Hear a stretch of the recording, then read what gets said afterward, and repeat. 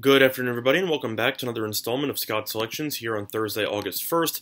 I'm aware that this video is going to be a little bit different than normal videos, as I've already given out the play of the day on the Denver Broncos and Atlanta Falcons game. But I said in that video, and if you haven't looked, haven't uh, watched it yet, check it out. I mentioned in that video that I will be providing you with a separate video on some tips on what I usually look for in preseason betting in order to find some value in the NFL preseason. And if you like the idea of this, I might give this out in future uh, videos, whether it's college basketball or whether it's honestly NBA Summer League, something like that, where I'll just explain what my logic is in terms of finding value on specific matchups. But with the NFL preseason finally upon us, I felt like it was a good time to explain what I look for in specific matchups as well as to just showcase that there is value on betting exhibition games, regardless of what the general public might think. And the first uh, tip I will be giving out here, some of these might sound like common sense, but I will go into greater detail when explaining uh, some some specific examples as to when this plays a factor. The first uh, tip will be on keeping an eye on injuries as well as healthy scratches. Since these are exhibition games, a lot of teams will be resting key players, rightfully so. However, the same can be said about some backup quarterbacks in some situations or even backup players if they are dealing with injuries. Uh, specifically, cluster injuries are very important, and when I say that, I refer to a lot of injuries at one position. So, for example, let's just say hypothetically the Cincinnati Bengals have three of their six cornerbacks on the roster injured. That means that you should probably bet against them because of the fact that they will be replacing those three with honestly sixth or seventh stringers who probably have no business being on an NFL preseason roster. Keep in mind that the injuries at key positions are very important.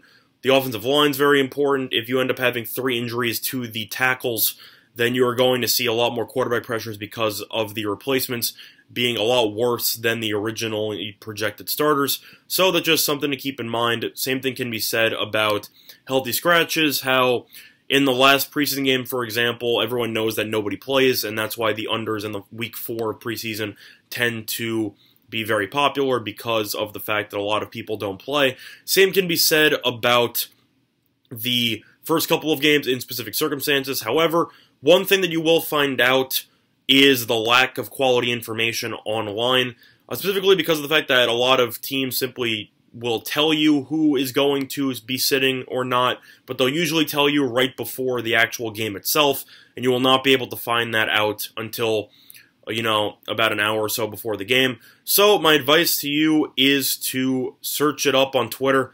Twitter tends to be my favorite source in order to find out this type of information on who is going to be inactive, who's going to be active. They will tell you, unlike regular season games, until the last minute, but it's also difficult to find out that information, so you should simply be searching it up on Twitter. Look for keywords, look for teams, look for injury updates, look for just the active rosters going into the game, and you should be able to find out that information roughly 30 minutes to an hour before the opening of the game. So you might bet some of these lines late, but if that involves you getting quality information, then I definitely think it is worth the wait, so to speak. That anyway, so the first tip is to keep an eye on injuries as well as healthy scratches to try to see who exactly will be playing. Never assume anything in the preseason until you actually see it in writing that specific people will be playing. The last thing you want to do is bet on a player or bet on a team because you think that their starting quarterback is going to be playing, and it turns out he is not, and then you have to wait and rely on the backup quarterbacks instead, and that is a terrible feeling, so that's just something to keep in mind. The second uh, tip is something that you should keep in mind in any type of bet you are making, regardless of whether it is preseason, but is especially valuable in preseason, which is the value of line movement. Now, since this is preseason games, assume that most of the money, if not all of the money coming in, is going to be sharp money. Simply put, the public is going to want to bet on baseball, even maybe some basketball here and there when it's on or just bet on anything, to be honest. But the idea of the general public betting on exhibition football games is not that popular. Week one, maybe. Hall of Fame game, maybe, because of the fact that, you know, they're just itching to see some more football. But when you get to week two of the preseason, the general public does not really care. And if you see a ton of line movement on a game, for example, if you see a team go from minus one to minus four and a half, there tends to be a lot of sharp money involved and I definitely rely on line movement as one of my main, uh, you know, things that I look for in a, uh, handicapping a specific matchup. And I think that the game tonight is a great example of that with the Broncos and the Falcons. Broncos open up at plus one. They're up to roughly two and a half and even minus three in some spots. Definitely is a sign that a lot of money's coming on Denver and I definitely think that they should win the game. I look for a lot of line movement. Totals also are the same. If you see a lot of money coming in on the over or the under, and you see it go from roughly 35 to 38, I lean to the over. That's definitely a lot of sharp money, and I definitely think you should be looking at that and factoring that in when you end up making some bets on some preseason matchups. Now, the third tip that I'm going to be giving you is position battles. I mentioned that in the video that I made earlier on the Broncos and Falcons, and I'd recommend looking uh, at that video as well. But position battles, simply put, motive, uh, it's going to be very important for roster spots as it could be the potential end of some players and their NFL futures. Look for open roster spots and people that are competing for those roster spots because they are going to be fully motivated for this game and definitely look as the coaching staffs will be giving them added reps to try to see who is worthy of potentially making the active roster. So, for example, if you see a quarterback battle in the second or the third uh, slot on the depth chart in the regular season, that doesn't mean anything because the starter will be playing pretty much all the snaps. However, in the preseason, the starter will never play, so definitely keep in mind the second string and the third string quarterbacks, or even the fourth string, trying to compete for a third string spot as the third string quarterback usually plays the majority of the second half, which is where a lot of bets either are won or lost in preseason. So if you see a quarterback battle taking place between the second and the third string quarterback, those tend to be bet on teams as you will be looking at both those quarterbacks to get added reps and to try to play extremely well as they try to outplay one another, as the coaching staff will look to give them more opportunities to shine, so to speak, as the coaching staff will try to shore up the depth on that respective position in for the regular season roster. Same can be said about defensive backs, offensive linemen, honestly anything. It's not just quarterbacks.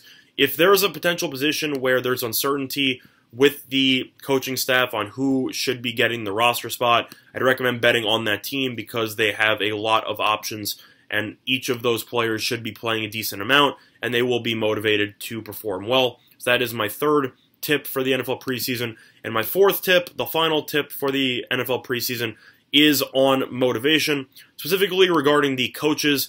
Some coaches, if you look at track records, do not care whatsoever if the team wins or loses in the preseason, where other teams care a lot and try to win every game. Two examples. The an example of a coach you should bet on in the preseason is Mike Zimmer, the Falcons head, uh, the uh, the Vikings head coach, I should say he tries to win every single preseason game that he is in. And if you look at his recent years in the preseason, he tends to go 3 and 1 or better. He tries to lay it all on the line. He wants his players to compete and to win uh, early on in the preseason. And the and the Vikings are a team I'll usually back pretty much every time in the preseason as they tend to attract a lot of sharp money and they tend to come away with victories as Mike Zimmer wants to see good showings from his uh, backups, and they tend to be a team that you should look to bet on in the preseason. Whereas a team you should look to fade pretty much every time in the preseason is the Pittsburgh Steelers with Mike Tomlin. If you look at his track record in the preseason, it is awful, and the Steelers rarely win many preseason games. They usually go one and three, two and two. Look for them to struggle again in the preseason. Another example is uh, Sean Payton for the Saints tend not to do very well in the preseason, mostly because they are resting key pieces like Drew Brees, who never plays in the preseason.